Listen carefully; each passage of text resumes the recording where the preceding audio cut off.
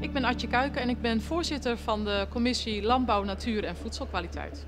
De commissie gaat over heel veel. Alles wat er in de landbouw wordt geproduceerd, ook de natuur. Is de natuur nog een beetje mooi? Maar bijvoorbeeld ook over dierenwelzijn. Uh, en is ons voedsel veilig? Je zult je toch voorstellen als je iets koopt voor je kind, wil je toch zeker weten dat het gezond is en dat het veilig is. En als je ergens wandelt in je eigen stad of je gaat ergens op vakantie in Nederland, dan wil je dat je een mooie natuur uh, tegenkomt.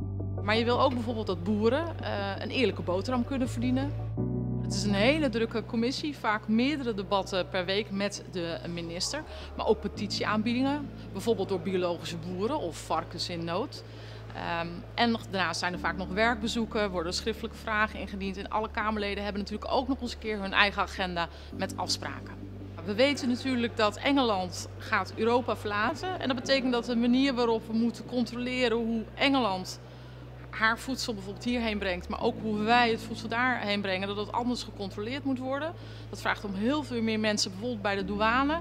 Uh, dus we zijn naar, naar de haven toe geweest om de mensen in de haven te vragen hoe gaan we dat doen in de toekomst. De commissie heeft ook een aantal thema's benoemd waar ze ook zelf onderzoek naar doen. Bijvoorbeeld het thema landbouw en klimaat. Hoe doe je dat voor de toekomst?